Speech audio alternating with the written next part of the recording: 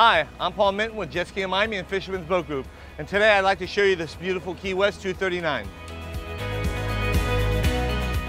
So here in the 239 we have its own dedicated anchor storage.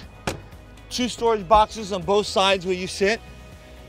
Has a table, a filler cushion so you can lay down. It's got its anchor, uh, it's got an extra storage box in the floor that holds a five gallon bucket in place. So on this 239, we have a porta potty inside the console. We have a lot of storage inside there.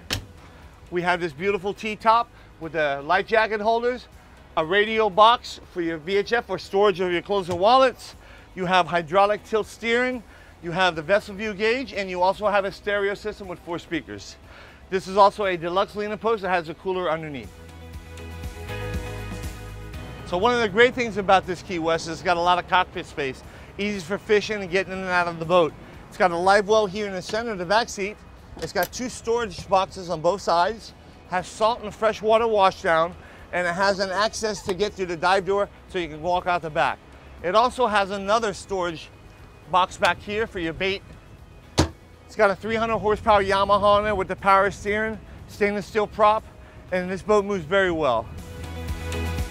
So for more information on this boat, please feel free to call us at Jet Ski of Miami Fisherman's Boat Group. My name is Paul and have a wonderful day.